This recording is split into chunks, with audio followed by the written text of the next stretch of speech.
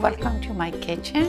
My name is Irene Partow and uh, I love to cook Persian food and I'm from Iran and I came to this country for many many years ago. I'm gonna show you how to make the one of my favorite dish called the Khoreshte Fesenjoon. My kids used to love it, especially my son used to love that dish. The fesenjoon, it's basically the main ingredient is walnut.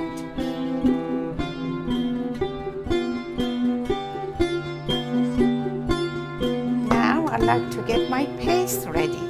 I like to be very fine and crisp. The food is good for the soul and I feel um, when you have a good food and about yourself as long as you don't overdo it. So now I put my onions and I put a little oil on.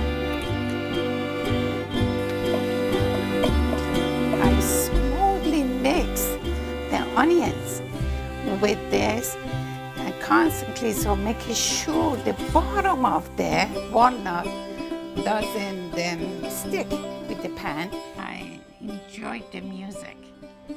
Yeah, absolutely. When I close my eyes and I listen to the music, I feel like uh, God is good to me and give me that opportunity uh, to have that, music get to my soul. So now I'm going to slowly add my sauce to it. Try oil of the uh, walnut comes out of it and that's the very good and healthy. I love to change my ingredient a little bit. Now I thought the cranberry is very healthy and it's good for you. So I thought, I'm, I'm going to use the cranberry jam in it too. When I cook it, I bring the best out of the food. So I said, mmm, it's delicious. It's so good. It's yummy. And I enjoyed it. And now I'm going to add my cranberry sauce. See how the color comes so lovely? And a pinch of the salt, and a little bit for the luck. I made the chicken to cook, no skin, no fat. Now I'm gonna add my chicken to my sauce. So let them all together and member to each other. And I have a chicken breast and chicken dark and light chicken I mix all together.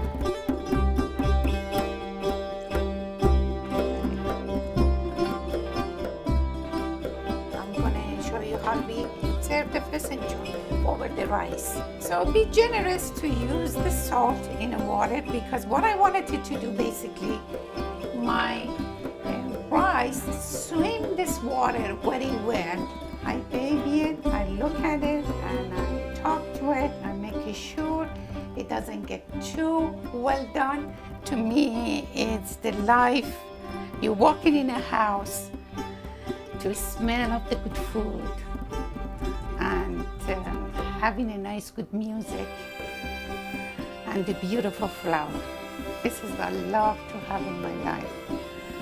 And I want my kids to remember that the grandma loved the good food, having a good household, and the music hits is always in our blood. And I made the tahdig, the bottom of the rice, I made it with the tortilla because back home I remember you used to use the potato or bread, but I like the tortilla now. I find that the tortilla is much more uh, crunchy.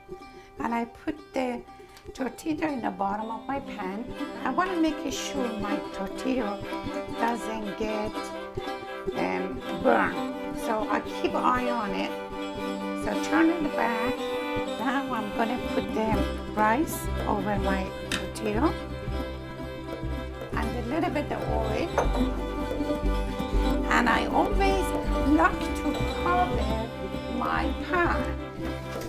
I like to uh, wrap my leg with the towel because when you put the rice, when you put the leg on the rice, you don't want it to steam come back to the rice. I do not like to use the radish like this. I like to, when I look at it, I relate it as a flower. So I'm going to make it look like a flower. I cut out the top and I cut the bottom of it and I slide one, two, three, one side and I slide one, two, three, the other side and again one, two, three. Look at that how pretty that comes. When I was growing up, the family was, was very important the uncle and aunt and the grandmother, grandfather, the whole family. Back home, we had more, my time in at least. I remember everybody cared about each other. You didn't have to go to psychiatrist. You always have to see the um, grandmother, grandfather always listen to you and ask you what you have. I remember my, I used to love my grandmother. When he used to come my home, he come to our house, I used to take his shoes and I put it to my school bag and take it to school. So uh, I knew when I come back after school, my grandmother could not leave without her shoes. So when I come home and I see my grandmother tell me, honey, where did you take my shoes? I couldn't find my shoes today. I said, Grandma, I have it in my pocketbook, in my school bag. What I learned, I would like pass it to the young people. I would like share it, my wisdom to the younger people and uh, or help other people as much as I can And I try to get involved with the nursing home and I try to uh, do the different things with the community. So get, get involved and pass around whatever I know, what I can do. The life is not only to take, it's a time you have to return. So I hope you enjoyed the food and the نوش جان خیلی خوشمزه است. Anything else you want to say? Uh, I love you. Yeah. love you too. I love you.